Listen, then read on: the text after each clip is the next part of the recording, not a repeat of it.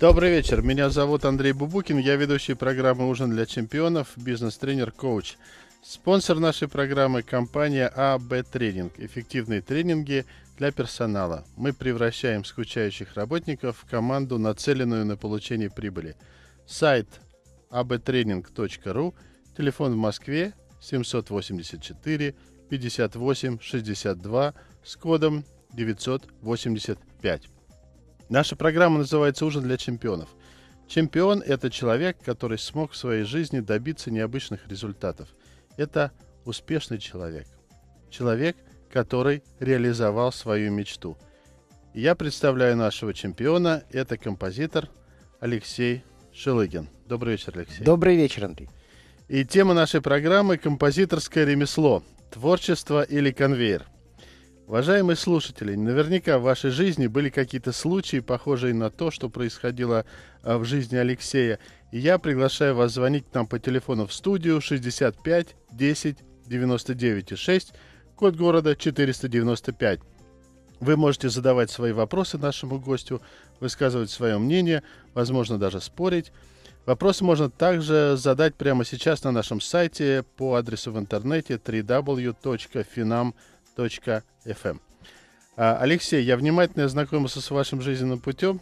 Это очень интересный текст, он такой впечатляющий, занимает три страницы мелким шрифтом.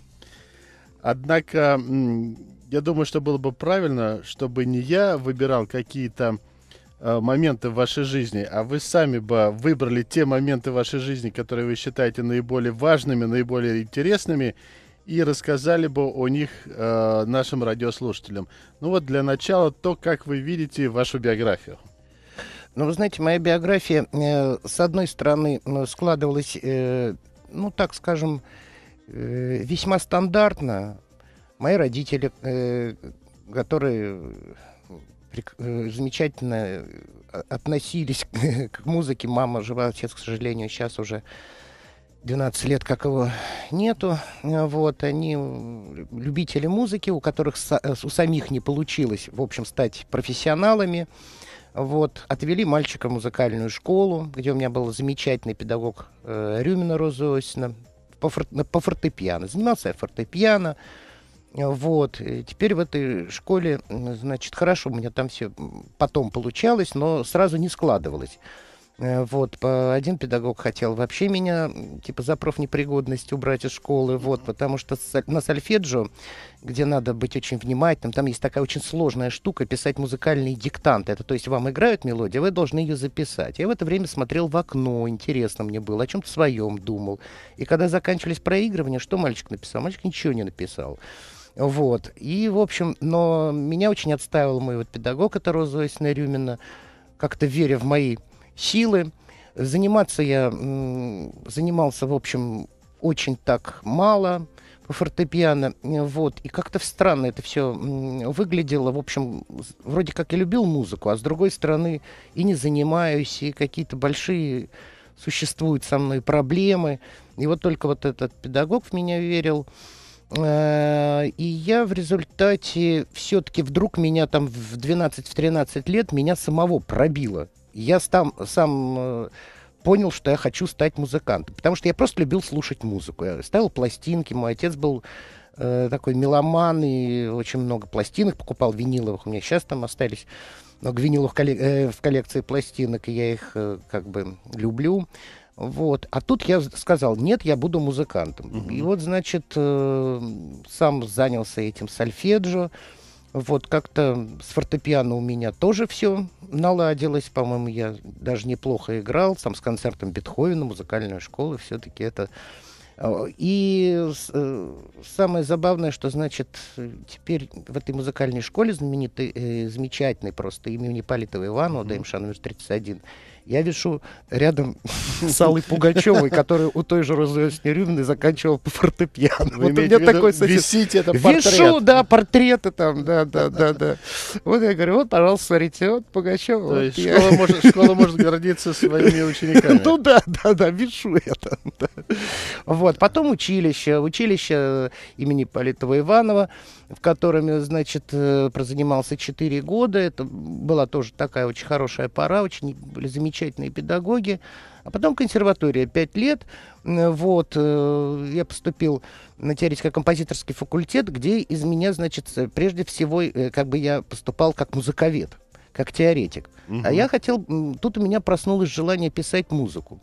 Как выяснилось, что чтобы писать музыку, естественно, надо э, поступить кому-то в класс. Я очень хотел поступить в класс к Николаю Николаевичу Сидельникову, замечательному композитору и замечательному педагогу, который выпустил очень много. А обязательно надо кому-то поступить. Вот просто писать э, Нет, ну вот, понимаете, ну надо ну, же Вы же профессиональный музыкант. Да, но тогда-то еще все равно 18 лет, ага. понимаете? Ну, хотелось как, как какого-то все-таки, понимаете, там же нужно базовое образование. Метро. Да? Метро, да, что-то спросить, там же посоветоваться как-то.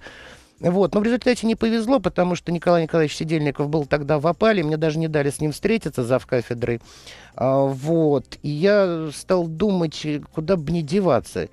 И тогда, тогда все, все так делали. Я пошел к другому опальному педагогу, Эдисону Васильевичу Денисову, вот, который преподавал инструментовку. Композицию ему было не разрешено преподавать. И ну вот, да, значит, потому что Денисов это такая фамилия, глава, как, это как гла... и Губайдулина, да, да, это, как и Шнитке. Да, это Более того, по тем временам, ну как бы сейчас он первый был авангардист, ага. он возглавлял вот эту вот авангардную школу, в общем, пр практически такой диссидент от музыки.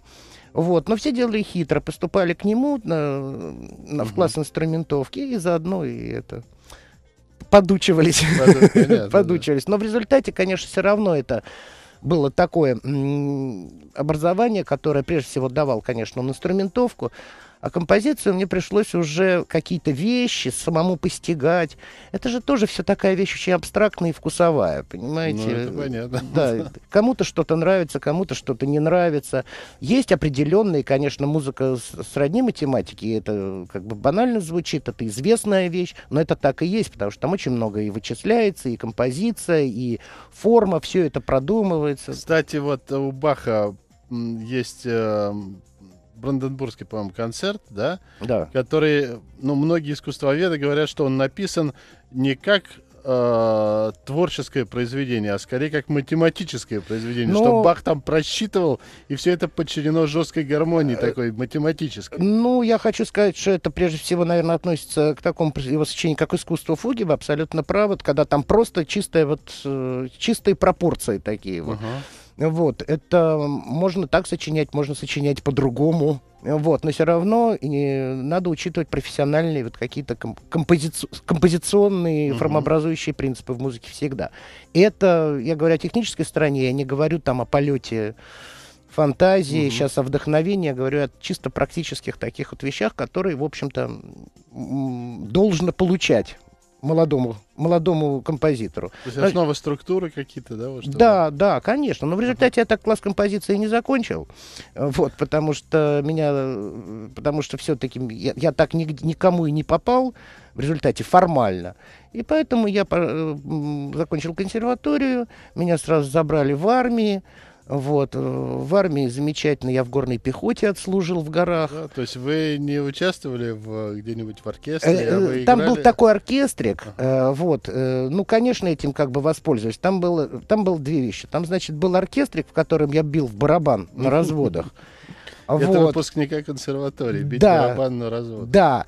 А потом, значит, была такая еще замечательная вещь, когда как бы отбирали там на распределительном пункте там, значит, э, там, кто музыкант? Я говорю, музыкант. А, понятно.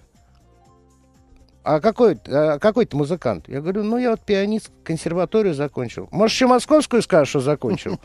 То есть никто не верил, что я в этих там горах там оказался, потому что, в общем, таких, таких людей там, в общем, редко. Ну, ну, бывает, бывает. И у меня, и у меня встречались такие люди. А потом был театр.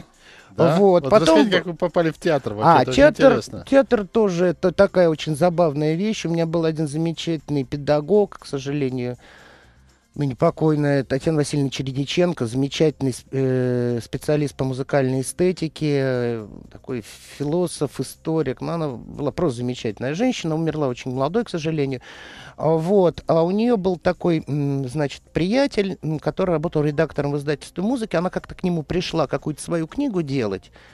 И она говорит, слушай, да вот он ей говорит, этот Владимир Охрамков, как потом mm-hmm. выяснилось, э, говорит, говорит, вот мне бы какого-то нужно молодого вот человека такого подвижного, какого-то композитора, ну такого не, не чтобы вот, вот, а что она спрашивает? Ну, в общем, он должен выйти на сцену, уметь играть джаз, и продержаться, по крайней мере, как-то достойно на сцене за роялем, но еще при этом играя, значит, э, и, и она что-то про меня вспомнила и говорит, ну, надо попробовать. И говорит, а в чем дело? Говорит, ну, моя жена молодая, значит, вот режиссер Татьяна Храмкова, вот она ставит аж в театре самого Андрея Александровича Гончарова, в театре Маяковского, со всеми угу. звездами первую свою работу. Ей нужна какая-то очень мощная опора. Это был спектакль «Круг» по пьесе Сомерсета Моема где, значит, э, я должен был играть э, роль топера. Вот, но топер, естественно, играет и, как в немом кино, сопровождает все действия. Ну, вживую играет. Вживую, да, за роялем, ага. вживую, причем там два рояля я перебегал от одного к другому, какие-то мизансцены там, ну, конечно, такие выстроены были для меня, такие очень бережно, чтобы, не дай бог, я там что-нибудь особенно не, не, не особенно запутывался на сцене. Вот, но когда я пришел, Э, туда в театр, значит, первая репетиция, я тут как-то очень засмущался сильно, потому что вокруг меня сразу был, значит, Александр Лазарев, Светлана Немоляева, Татьяна Васильева, Евгения Симонова. То есть это все такой... И другие звезды. И другие звезды, там вообще уже я не говорю, там просто всех, всех уже сейчас не перечислишь. Просто это было что-то такое, и они очень тепло как-то отнеслись ко мне, и, музыку-то музыку я написал, а вот потом началось как бы для меня самое такое волнующее, когда это надо было выходить на сцену. Ну, первые несколько спектаклей меня как-то так немножко потрясывало, потому что ведь не только ну, думать ну, о том, как сыграть, как что, но ведь я, я, я же не учился актерскому мастерству. Ну да, здесь надо быть актером. Да, а они ага. еще, они еще артисты, они как бы в своих монологах, обычно они там смотрят э, в зрительный зал, а тут еще они ко мне обращаются. То есть они решили как бы приколоться. Да, да. И я сижу, значит, в этом канатье, значит, это... Ну, артисты вообще любят прикалываться. Ну, и да, хлебом да, не корми, да, приколоться. Это вообще замечательный, замечательное для них развлечение. Вот. И, и я как-то так вот должен был реагировать, что-то такое. Ну, в общем, вроде как 100 спектаклей я в результате отыграл. 100 но, спектаклей. Но вы не только отыграли, у вас э, огромный список э, спектаклей, в которых вы уч- принимали непосредственно ну, участие как, как автор, как, как композитор. Автор, да, да. И не только в театре, но и в, и в кино, и на телевидении.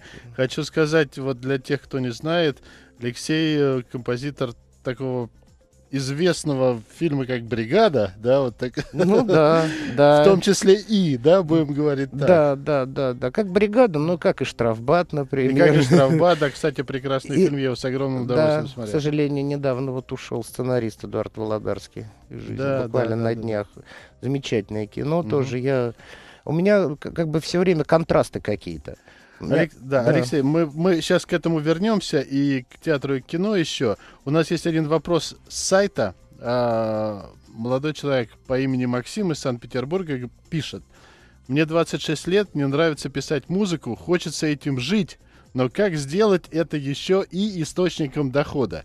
Сейчас приходится работать в программистской компании, есть музыкальное образование по классу аккордеона, поступил в университет кино и телевидения. Подскажите, куда двигаться?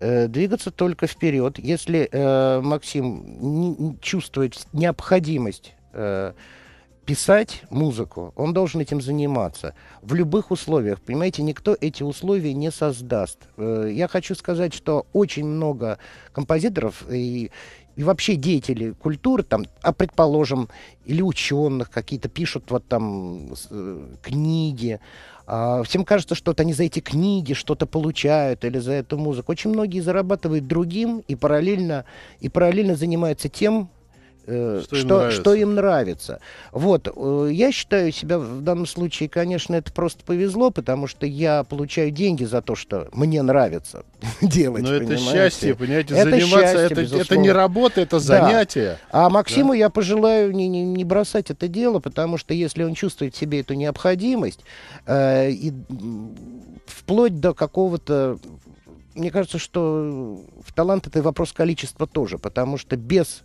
наработок, без э, постоянного какого-то без постоянной попытки создать что-либо не, невозможно, невозможно. А как сделать из этого источник дохода, это вопрос удачи. Это ни, никак не происходит. Это вопрос удачи. До того, как я попал в театр Маяковского, я пришел из армии, вот, и пытался вот, устроиться вот как композитор. Я помню, как меня свели с каким-то театром, студенческим театром. Угу. И я пришел, сказал, что здравствуйте, вот моя фамилия Шелыгин, зовут меня Алексей. На меня так посмотрели, ну и что? Я говорю, вот я композитор, я тут консерваторию закончил, я хочу вам музыку написать. Он говорит, ну нам уже пишут. Ну, все. У нас мы есть работаем с другими, да? Мы работаем с другими. Ну, да. а, э, а при этом ведь самое сложное что? Это же замкнутый круг. Если э, как бы вас не исполняют, то вас не знают. Если вас не знают, то, вас, вас не, и не исполняют. И не исполняют. Особенно тогда, когда, ну, сейчас есть возможность, например, э, что-то там в интернете вывесить, да, послушайте мою музыку. И есть такие сайты. Я считаю, что это большое счастье, большая радость. А тогда вообще, ну, куда деться? Ну, где я это вывешу? Где, где, где это все буду показывать? То есть, вот, если я могу подвести такой краткий итог э, из ответа на этот вопрос, э, вы можете рекомендовать нашим слушателям для того, чтобы добиться какого-то успеха в своей жизни, надо следовать мечте, да? Безусловно. Что-то делать и заниматься тем, что нравится в жизни. Безусловно, безусловно. Ну что же, это программа «Ужин для чемпионов» на Финам ФМ. Мы вернемся в студию после небольшой рекламы. Не переключайтесь. Мы продолжаем наш разговор. Я Андрей Бубукин, ведущий программы «Ужин для чемпионов» на радио Финам ФМ. И мой гость, композитор Алексей Шилыгин. Человек, который написал огромное количество музыкальных произведений для театра, для кино и для телевидения. Э, если вы хотите добиться успеха в жизни и стать настоящим чемпионом, если вас интересует, как это сделать, пожалуйста, э, задавайте ваши вопросы нашему гостю в прямом эфире. Наш телефон 65 10 99 6, код города 495. Это можно также сделать на сайте по адресу www.finam.fm прямо сейчас – Итак, мы с вами говорили о композиторском ремесле. И вот знаете, Алексей, когда я читал вашу биографию, э, меня удивила одна такая вещь интересная, что когда вы защищали диплом, э, тема вашего диплома была выразительные средства рок-музыки. Да, но это еще один такой был парадокс. Да, расскажите об этом, это Нет, ну интересная это, вещь. Да, это вообще, конечно, парадокс. Просто, э, ну, сейчас 2012 год, я не знаю, там молодое поколение вообще этого, может быть, не, не сможет понять, в чем, как говорится, подвох. Но это тема диплома в советском тема, учебном это заведении. Это тема диплома в советском учебном заведении в 84 году. Вот ага. чтобы вот так осознать, еле-еле там просто какие-то раски давали, показывали Абу. по телевизору. Абу, Абу там это, да, там Бонием, это казалось, что это вообще, ага. это обычно где-то по ночам мелодии ритма зарубежной эстрады. Вот, и это все ждали, когда это произойдет на Новый год, все ждали, в районе трех часов начнут показывать, я это прекрасно помню. А, а тут, значит, э, я как-то эту тему пробил, вот, и, потому что я вообще не касался идеологии, главное не касаться было идеологии. Угу. Поэтому она называлась именно выразительные средства рок-музыки. То есть я писал рок-музыки как о рок-музыке а не о том, какие там идеологические, значит, буржуазные основы э, этого тлетворного, значит, явления, как ну, рок-музыка. Это, в общем, была бы как музыка протеста, рок-музыка да, всегда была. Да, да, она как музыка протеста, она, в общем, есть принципе музыка протеста. И она музыка да. такая, но ну, в определенной степени тогда это была музыка разрушения. Да, да, да, такой абсолютно был и протесты, разрушения, и это все очень было так активно. Это совершенно не, не как сейчас. В общем, мне сейчас кажется, что в основном сейчас конформистские тенденции такие вот действуют в, этой зоне. Ну, сейчас скорее не рок, а поп-рок. Ну такой, да, да, да, да, да. Тогда-то рок настоящий был. Вот. И а, я уже говорил о Татьяне Васильевне Чередниченко, которая была оппонентом, которая вот сама этим интересовалась. Это редчайший случай. Но она была молодая женщина. Угу. Вот. И как бы ей это интересовало. И мой научный руководитель тоже, Вячеслав Вячеславович Медушевский. Вот. Это были как бы молодые еще люди, ну, Метушевский постарше, но тем не менее они так были очень прогрессивны. И, и все-таки э, удалось как-то эту тему сохранить. Но был другое смешно, ну, как говорится, когда на мою защиту э, в консерваторию стали приходить какие-то волосатые люди в тертых джинсах. А вы там вставляли какие-то музыкальные отрывки, кусочки? Нет, вы знаете... Вы, э, ну, э, для, ведь надо описать, что такое изобразительное средство и дать какую-то пример. Я понимаю, о чем вы говорите. Мне не советовали это делать. Потому что в свое время, я помню, когда я просто сел в какой-то из аудитории и начал просто наигрывать джаз, заскоч... за... кто-то заскочил, сказал, не смей, ты, ты вообще ты хочешь в армию раньше времени улететь вообще? Сейчас тебя тут же вообще уберут отсюда. Э, зав кафедрой композиции кричала, это же джаз! То есть это как, как, как ругательство. Как, как будто матом. Да? Ну, как будто матом, да, да. То есть это все было очень такое сложное явление. Но когда, значит, там на диплом собираются же люди, ну, там и педагоги, угу. и твои сокурсники, еще кто-то, кто заинтересовался. Это же дело открытое. Ну, да. В общем, набился битком зал, но когда туда стали входить, значит, эти хипари, вот, это было, в общем, такое явление все так думают, господи, куда откуда, они идут? Откуда не узнали? А вы знаете, ну просто они, предположим, я же в группе играл, ага. вот. А, а вы еще и в группе Да, а конечно. Я на ну, клавишные, конечно, ага. клавишные. Мы играли такой, значит, такой серьезный прогрессив рок, ага. вот. Эм, а параллельно, значит, надо было зарабатывать. Ну, да. Вот, э, и, а параллельно аккомпанировали таким советским певцам. В концерте мы числились. Mm-hmm. Вот, для того, чтобы играть э, прогрессив, надо было при этом, значит, как-то еще зарабатывать чего-то. Все равно на, на, на эти деньги, которые там в консерватории, это, это вот не проживешь. Надо было как-то подрабатывать, но даже было не в этом дело, а надо, а надо было просто, мне хотелось играть. Так вот, просто, это, предположим, вот э, люди, с которыми я играл в группе, да, а... У них есть друзья. У них есть друзья. А у друзей есть друзья. Да. Э, руководителем нашей группы был председатель Зернового союза России ныне, Аркадий Злачевский. Можете себе представить? Ну И Аркаша очень был замечательный совершенно музыкант. Вот. И что вам поставили в результате за экзамен? Знаете, ну, пятерку поставили, я все это делал, потому что там, конечно, Э, были некоторые возражения против темы. Но мне, не... мне трудно представить, как можно не иллюстрировать выразительные, вот эти выразительные моменты, выразительные средства без иллюстрации, как это можно? Ну вот, э, потому что просто подумали, что совсем уже будет, как-то мне вот этот Вячеслав Вячеславович, говорил, Душевский мой вот этот руководитель, uh-huh. он говорил, что может... Леш, ну давайте не будем, давайте, не, не надо, тут сейчас услышат.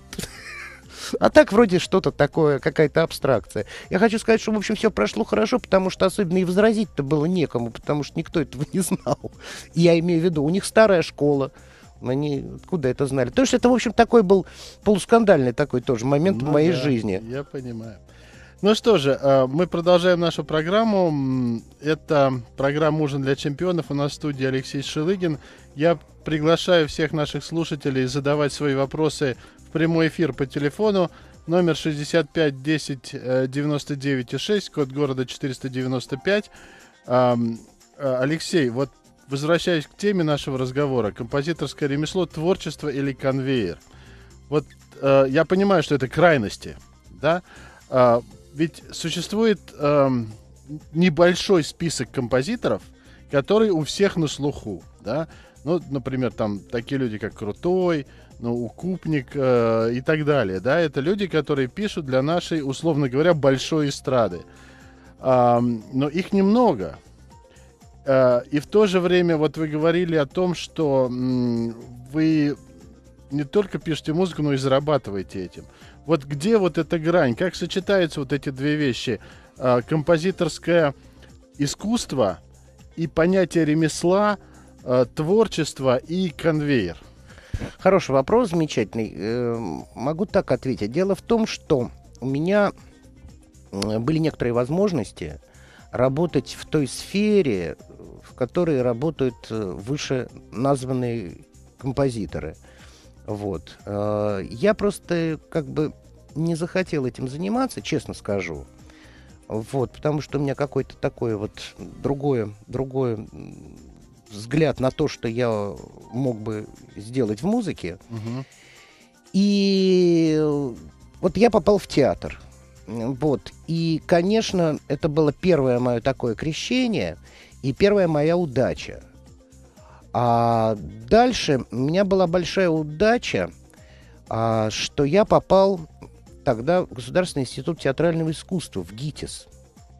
Вот, потому что... Вы педагогом работали? Да, по музыкальным руководителям курса Леонида Ефимовича Хейфица. Угу. Вот, я работал. Олег Львович Кудряшов, замечательный педагог, выдающийся педагог, режиссер, а, который сейчас э, работает, дай бог здоровья. Вот, э, позвали меня. Я Первое, значит, я ушел из театра Маяковского, потому что у меня должен был быть выбор. Я как бы поеду во Францию проводить мастер-классы вместе с Олегом Львовичем Кудряшовым, или из театра никого не выпускали. Там была просто такая вот система тюремного, скажем так, потому что Андрей Александрович был великий режиссер, но он был абсолютный деспот, диктатор, и, наверное, это в каком-то смысле хорошо было, но вот мне пришлось уйти из моего любимого театра, который до сих пор люблю, вот, и я поехал, значит, первая поездка во Францию, это был 91 год, а потом угу. э, Кудряшов предложил мне прийти на курс, где он преподавал, значит, у Хейфица. Вот, на этом курсе учились ныне очень такие известные артисты и режиссеры, э, вот, и, и... Ну, можете какие-нибудь фамилии назвать людей, кто учился тогда? Ну, Виктория Толстогану, например. Как говорят, моя ученица там.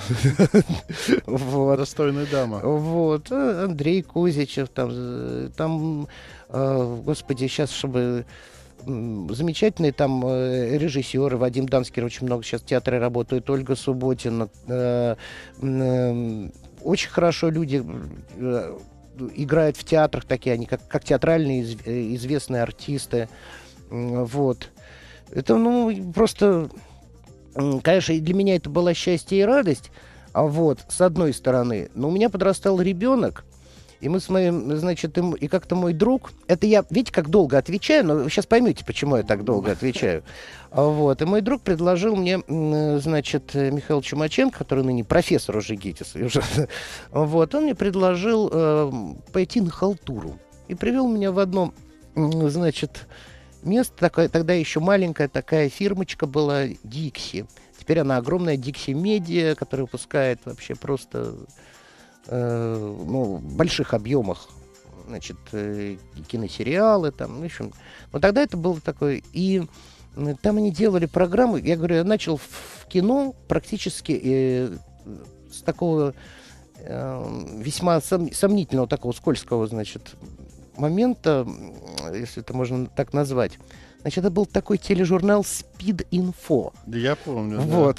Да. И вот, значит, меня пригласили подхалтурить и подписать туда музычку. Вот. Потому что надо было как-то зарабатывать. Вот. Но благодаря этому я, значит, э, познакомился и с Ефимом Любинским, который, значит, э, с Александром Левиным, продюсером, и с режиссером Василием Пичем, который в тот момент, значит, затеяли делать программу «Куклы». Угу. Они услышали мои там, значит, эти все... Опусы. Опусы, да. Говорят, слушай, как-то ты так театрально как-то, ну так как-то это ярко, ярко, да, говорит, потому что ну, это не вроде как не так попадает. И мне, значит, э, предложили этим заняться. И дальше у меня был большой опыт э, с программой куклы. Ну что такое? Но это телевидение в большей степени. Это да? телевидение, да, это пока телевидение. Вот, но понимаете, что такое работа на телевидении куклы? Это делалась каждая программа индивидуально, и это чистый конвейер. Вот как раз на нашу тему. Вот на, да. да. Но при этом в этом конвейере не допускалось каких-то, ну, таких банальных решений, потому что там работали замечательные режиссеры, вот Василий Пичел, там Николай делал, там кто только не делал. Мэтр. Ван Киасашвили, да. Вот, там, там кто только это не делал вообще. И там я с ними познакомился, и у каждого был свой взгляд, и при, при всем конвейере надо было как-то ухитряться делать все-таки оригинально, скажем так, вкусно, чтобы это было. Ну да. Вот. И тут я и получил большую школу и понял, что, конечно, да, конвейер конвейером, вот, э, но все-таки... Э, все, надо уметь работать надо... на конвейере, работать творчески. Творчески, да? да. А дальше вот то, что я, например, сделал, там очень много сериалов, это же тоже конвейер, вот. И, но тоже, но тоже я сохранил в себе как бы этот навык. В этом мое везение, что я сразу попал вот в такие обстоятельства, потому что ну, потом для композитора очень важно иметь крепкую психику, я вам честно ну, скажу. Да, да. Потому что понимаю. не все нравится, не всегда режиссер говорит так, как, мы, как, как мне хочется. Иногда, ну, иногда бывают режиссеры, которые ничего в музыке не соображают, разговаривать на птичьем языке, приходится их переводить, и начинаешь из-за этого заводиться, а надо очень спокойно и позитивно к этому относиться. То есть, в общем... Ну да, и вот я подвожу такой краткий итог да. по темам, а, каким человеком надо быть для того, чтобы в этом работать. Вот что я для себя уловил, это надо быть, во-первых, смелым, и, во-вторых, э, верным своей мечте. Совершенно да? верно. И тогда оно как-то будет будет так, как мы хотим в нашей жизни. Да, насчет смелости вы абсолютно правы, потому что кто боится вот так к этому приближаться, это до, до, достаточно действительно серьезно. Это такие такие щупальцы, из которых потом не вырвешься, только надо уметь в этом То себя есть вы сохранить. ставите как бы вот пан или пропал, да? Да, ну да, не, ну надо вставлять барьеры, надо себя сохранять изнутри. Вот вы э, упомянули сериалы, угу. да, ну а вот одним из самых известных и, скажем так, ну, я бы не сказал любимых, но скорее замеченных сериалов на нашем телевидении. Но кроме сериала «Штрафбат», о котором вы говорили, был сериал «Бригада». Вот расскажите, пожалуйста, вот, может быть, были какие-то интересные моменты, связанные с сериалом «Бригада». Он такой у нас стал эпохальный. Ну да. Не, ну сериалом «Бригада» вообще... Это, э, сериал «Бригада» — это сам по себе один интересный момент. Во-первых, а, я м, до этого сделал еще так немножечко какие-то такие детективно-криминальные, значит, сериалы. Знаете, был хороший сериал э, с Николаем Досталем «Гражданин-начальник», там, где замечательно играл там Юрий Степанов. А, вот. А, и... а в это время у меня там было э, концерты с чтобы не, не соврать, Вивальди оркестр играл да, на зале да. Чайковского, да. А я все время, значит, и они все время звонят и рассказывают про какую-то бригаду. Я думаю, да господи, ну мне сейчас... Я понимаю, конечно, надо писать, деньги зарабатывать, но только не сейчас. Вот сейчас мне это совсем не нужно. Потом думаю, ну что это такое вообще? Вот, и в результате меня просто через общего знакомого меня заставили хотя бы повстречаться с режиссером. Но когда я встречался с режиссером, э, мы с ним просто очень сошлись, с Лешей Сидоровым. Вот, он э, как бы это все мне показалось достаточно интересным, масштабным. А, э, и я так сразу понял, что кто-то это будет ненавидеть, а кто-то это будет очень сильно любить. Вот. Ну и как раз, конечно, это было самое большое такое противоречие, из-за которое меня потом кто-то ругал, кто-то кто хвалил. Это между вот этой основной темой, которая угу. является такой драматической я бы сказал, такой романтика драматической. Ну да. Вот. И вот в романтике-то все и дело, потому что меня корили за то, что я потакаю, романтизирую своей музыкой вот этих вот людей. Апологетика. Апологетика, да. Бандитизма. Бандитизма. Да? Но понимаете, про музыку вообще так нельзя говорить. Музыка сама по себе, она это, это не литература, это uh-huh. искусство, которое совершенно абстрактный и, и больше всего влияет на эмоцию. Поэтому э, там вот это вот была эта тема, которая сразу по ад абсурдум, что называется, понравилась э, Сидорову. И, конечно, она, в общем, она сыграла свою роль. А дальше было еще более забавно, когда я сидел в кафе и после тяжелой работы, и вдруг я слышу, что это что-то да, да, да, да, это был самый популярный рингтон, кстати, да, в свое да. время на мобильных телефонах. Жалко, что в то время за это никто ничего не платил, это не считалось. Вот. И я могу сказать, что я тогда почувствовал, что, наверное, я тихо уже схожу с ума, потому что, ну что ж, я уже звуки какие-то слышу, причем странные, вроде как это... А это еще было такое воспроизведение, знаете, такое очень примитивное, такое пищащее. Это было даже не полифоническое, ну, тогда да, все да, одноголосное да. такое было. Ну вот, так что бригада это, конечно... Но с другой стороны, да, вот куда ни придешь, все равно начинают с бригады. Ага. Что, что, что ну, уже да. делать? Что уже делать? Я обра... Нет, ну почему? Я, я не начал с бригады обратить. Нет, вы не начали. Я начал должен с рок-музыки, да, потом вот да, вы упомянули да, Вивальди да. оркестр в зале Чайковского да, да, и да, бригада. Да, То есть да, это да. показывает, что вот, ну, вы очень разносторонний человек, и поэтому вы, может быть, и интересен. Ну да, еще у меня есть просто инструментальные сочинения. Да, а я сейчас, знаю. сейчас я работаю по заказу анса- замечательного фольклорного ансамбля имени Дмитрия Покровского над э, э, таким музыкальным действием слова полку Игореву. Ну, в общем, просто я как Это теперь говорю... просто даже не в три разных стороны, а вообще во все стороны Да, света. ну я теперь говорю, позовите меня просто Александр Порфирьевич, просто как Бородина. Я, я своего князя Игоря пишу теперь. Ну что же, мы с вами поговорили о том, а, композиторское ремесло, творчество это или конвейер. Спонсор нашей компании, э, программы компания АБ Тренинг. Мы продолжим через мгновение. Итак, мы продолжаем наш разговор. Я Андрей Бубукин, ведущий программы «Ужин для чемпионов» на радио Финам ФМ.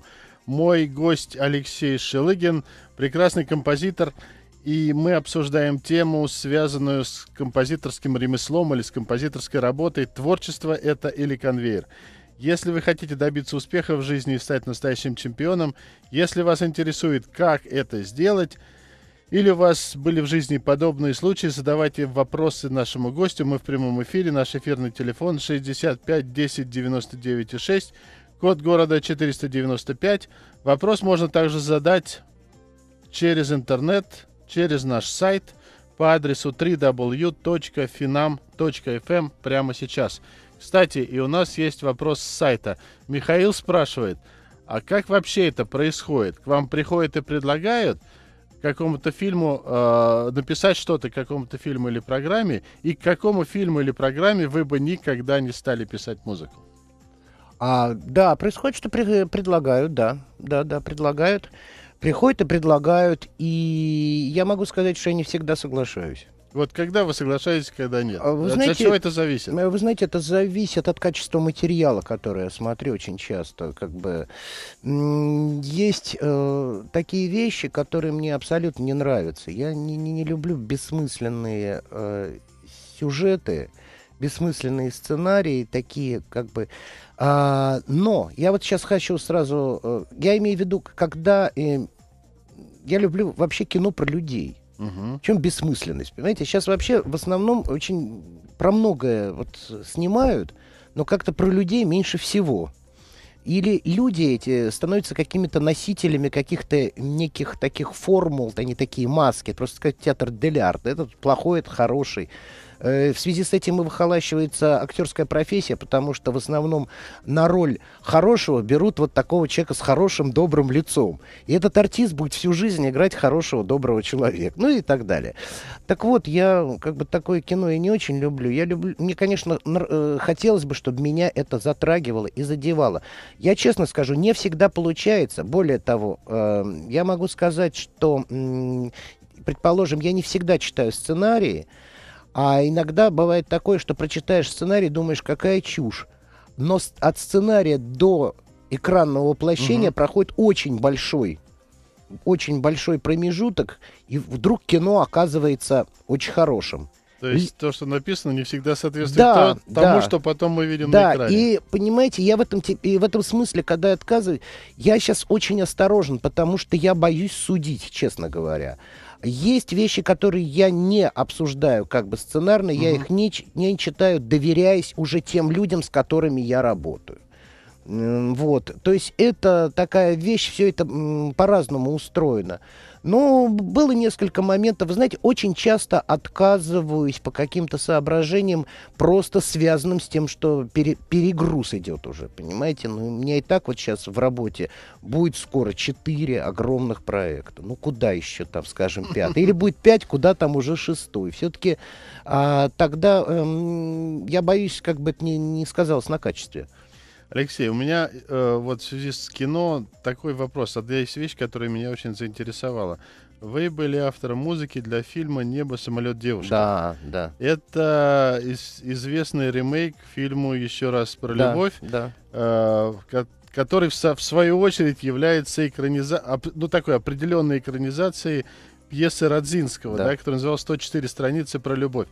Скажите, пожалуйста, а вот когда вы брались за эту тему, вот э, у вас не было ощущения, что еще раз про любовь, в котором была прекрасная музыкальная тема, которую там многие до сих пор помнят и допивают, что вот э, не давило ли это на вас? Вот как вы искали свою, свою тему? Да, хоро- очень хороший вопрос. Во-первых, я очень благодарен этому фильму.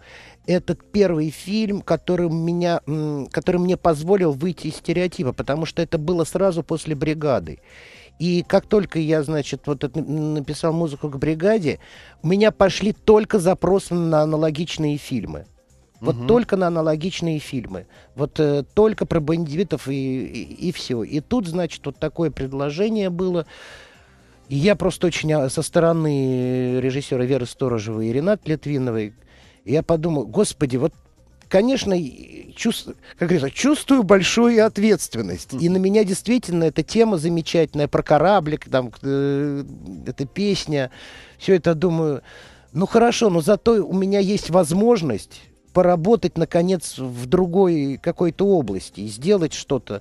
И я понял, что то, в общем, надо найти какую-то свою интонацию. Это хорошо сказать, найти какую-то свою интонацию. Да, в этом смысл. Отличную. Отличную от того, что... Не отличную, в смысле, отличную. Ну и отличную тоже ну, хотелось бы. Тоже, да. Но отличную от того, что было в предыдущем кино, которое ага. на тот момент все-таки, ну, там, тем более старшее поколение, это вообще культовое кино, и это все это был помнили. суперфильм. Он остается таким. Да, он и остается, конечно. Это не значит, что что-то хуже, что-то лучше. Он был гениальным и остается замечательным тоже прекрасным фильмом. Вот. И я понял, что, в общем, после разговоров и с Ренатой, и с Верой Сторожевой, я как-то понял, что я не буду сильно оригинальничать, но нужна какая-то очень проникновенная и красивая тема. Я не буду, понимаете, если там была лирика, то здесь я сделаю какую-нибудь физику. какую-нибудь физику там. Нет, я просто и я сделал это чисто музыкальными средствами. Я подумал, что просто надо написать хорошую музыку. Да, потому что музыка интересна, она действительно она подчеркивает содержание. Потом... Это я не то, что себя хвалю, понимаете, что я написал хорошую музыку. Это другим судить. Я подумал, что надо бы Но написать. Я могу сравнить как слушатель, как зритель. А скажите, пожалуйста, вот Анна спрашивает с сайта, а вы сами делаете аранжировки своей музыки? А, скажу честно, значит, а как это все происходит? А, значит, для оркестра я пишу сам и угу. оркестровщик. Электроникой я владею плохо. Угу. Можно даже сказать, что совсем не владею, потому что это только сейчас начали в консерваториях изучать все эти вот э, штуки. И как бы э, аранжировку электронную делает мой друг Владимир Сайко. Мы с ним вместе работаем и записывает, потому что э, он в этом деле профессионал. Он, кстати, и композитор замечательный.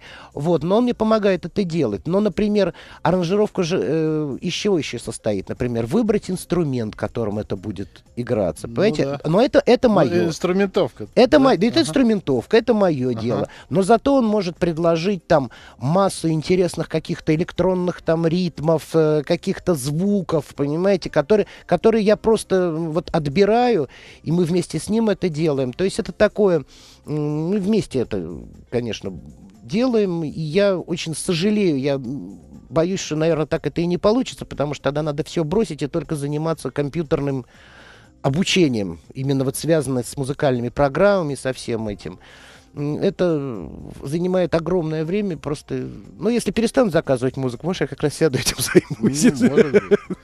Но я нет, я все равно этим не займусь, потому что я тогда буду писать для себя. Я уже остановить-то это, это же поезд невозможно. Процесс невозможно. Виктория спрашивает, очень нравится сериал «Глухарь», которому вы написали музыку. Сейчас вышел Карпов. Это тоже ваша музыка? И будет ли продолжение? Отвечаю, глухарь моя музыка, а Карпов э, по предложению э, сценариста Ильи Куликова э, сделан частично с моей музыкой, но все основные ритмотивы это м, как бы вариации на классические замечательные произведения. Я, это для меня была очень новая работа, я не ожидал такого. Э, ну, просто мне это было очень интересно, я с этим согласился, это как-то парадоксально, но мне, например, вот просто нравится то, э, то вот это вот сочетание. А, там очень жесткий сюжет, очень жесткие события, и как бы классическая музыка, она смягчает нравы, скажем так. Угу. Сама классика, она смягчает нравы, она это, мне кажется, очень ценным качеством. И я просто очень рад, что так получилось. Кстати, это абсолютно не формат, я бы сказал. Вот это вот не формат. Да, вот, кстати, а слово формат сейчас на радио очень часто звучит. Это формат, это не формат. Вот как вы понимаете, что такое формат, с вашей точки зрения, как профессионала, музыканта, композитора? А, вы знаете, формат я никак не, не понимаю, что это такое, но я понимаю. Я понимаю, что а, некие, значит, э, скажем, э, такие сообщества, которые представлены каналами или радиостанциями, э, или продюсерскими группами, они себе как бы представляют некую ту продукцию, которую они будут делать. И для них э, начинает формулироваться ряд э, качеств, которые должны э, вот, сопутствовать этому продукту. И в результате, э, видимо, появилось такое слово формат. То есть это в формате этого продукта. То есть, например, э, ну если мы какой-нибудь э, там вот то, что я сказал, не формат. Вот такая вот жесткая криминальная история. Но, правда, с огромным там психологическим наполнением, драматическим uh-huh. и все. Вот, например, как это, как Карпов, да. Но все равно это не формат. Туда не, не, не может там быть классика. Все равно надо было очень греметь в барабаны, там, стучать, э, в общем, звуки страшные пускать. Но они там есть немножко, но это, как говорится, не суть. Вот, там есть э, и моя музыка, есть и, и классическая, и, и свою музыку, кстати. Моя музыка тоже сделана в сти, принципиально в стиле классических традиций. Это принципиальный но был это момент. тоже определенный формат. Да, это, но, мы, но я его сам создал. Но вот, например, это не формат. А формат это что? Вот, например, на какой-нибудь радиостанции а, они представляют себе, что там а, они а, представляют, что это слушают девочки 15 лет. Угу. Только девочки и только 15, может быть 16. И тогда они понимают, что, что им надо. Им надо про лубов, им надо там, значит, это, и чтобы так не очень нагрузно, и чтобы танцевальненько. Вот это формат. То есть это стилистика, направленная на удовлетворение вкусов определенной целевой аудитории. Ну да, целевая аудитория, целевая аудитория, которая, по их мнению, соответствует, э, значит, по мнению вот людей, которые это создают, соответствует вот этой целевой аудитории. Вот, вот что такое формат. Хотя все равно мне непонятно, откуда берется этот термин, поскольку а, очень многие разговаривают от имени народа. Народ это не поймет. Но это мы уже проходили. Это в истории нашей страны это уже проходили. Народ это не поймет, это Народу вот. это не интересно. Народу это не интересно. Вот, во-первых, и так, всегда так удивительно, я думаю, откуда этот человек про весь народ-то все знает вообще? Ну, как он его себе представляет? Наша страна советов была, все любят давать советы. Ну да, да, да. Ну, в результате вот так. А, Елена пишет, я знал Алексея как интересного композитора, а сейчас слышу, что он еще очень интересный человек. Спасибо. Спасибо, Елена. А, Игорь пишет, бывает ли у вас такое, Алексей, вы слышите произведение и говорите себе, жаль, что я его не написал, не я его написал, то есть вот какие-то элементы, условно говоря, белой зависти, да? А, да, да, очень часто бывает. бывает. Вот понимаете, вообще вся мировая классика очень жалко, что я ее не написал.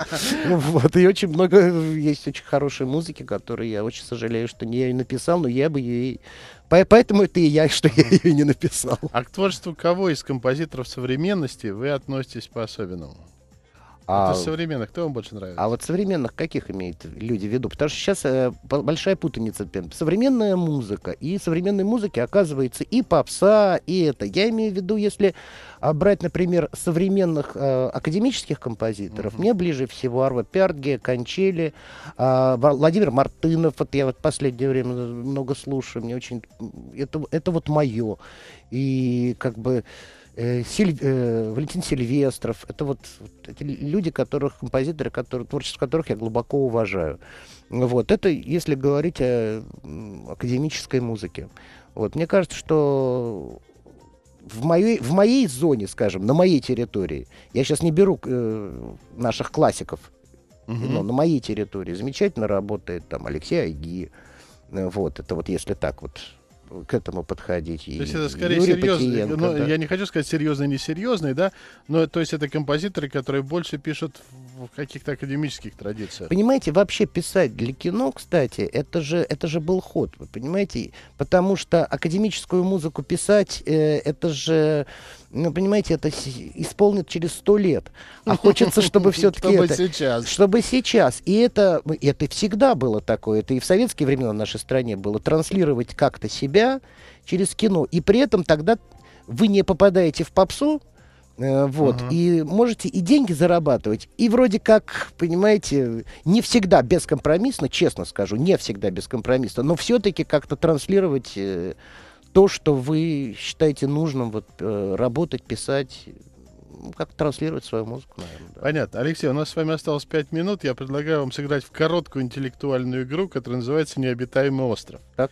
А, игра заключается в том, что я вам сейчас задам 5 вопросов и попрошу вас дать а, короткие ответы и, может быть, с небольшими пояснениями, почему. Мгм. Вот представьте, что вы оказались на необитаемом острове. Какие бы три книги вы взяли с собой и почему? Я бы взял «Войну и мир», я бы взял а, Томаса Мана, «Доктор Фаустус». Вот. И я бы взял, предположим, такую вещь, как рассказы Чехова. А какие бы три музыкальных произведения вы бы слушали время от времени?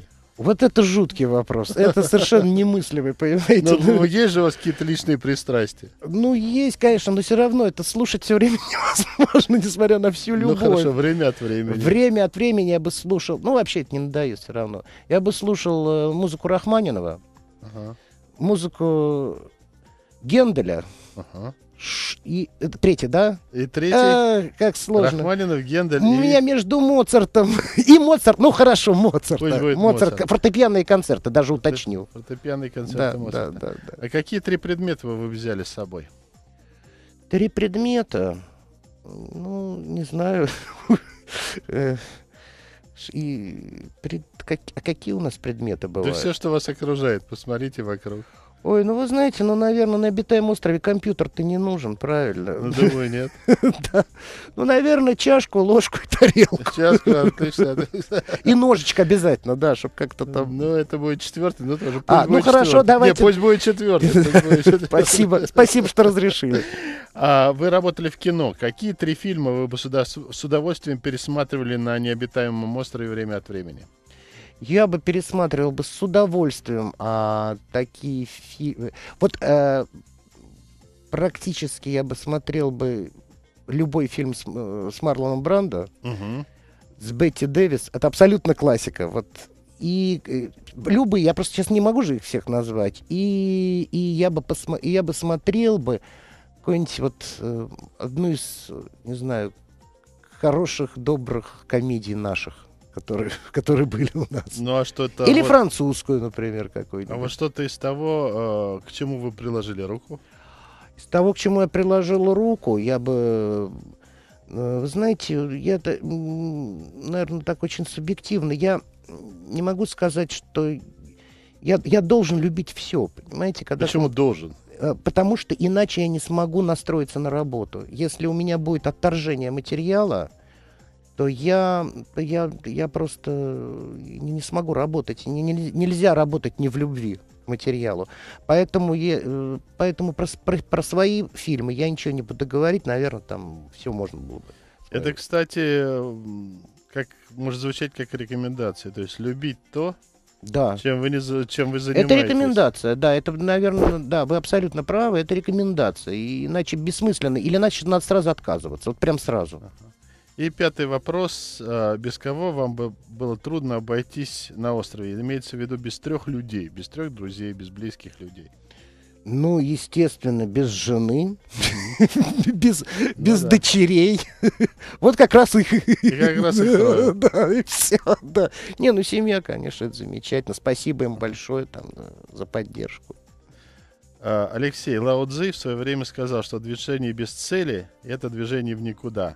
А что вы, вот что вы, Алексей а, Шелыгин, хотите от жизни? Какова ваша цель в жизни? Моя цель в жизни что-то Мгм. написать, чтобы я сам оценил, что, ох, как вот это то, к чему я шел.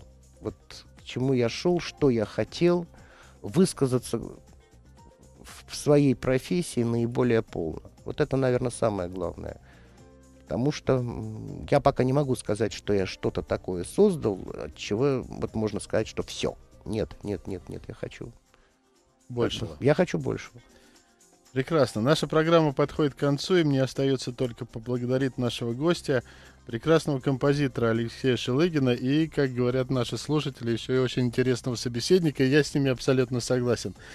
Э, поблагодарить за то, что Алексей поделился своими мыслями и своим жизненным и профессиональным опытом. Спасибо, Алексей. Спасибо вам огромное. Спасибо тем, кто слушал, задавал вопросы вашим слушателям. Спасибо большое.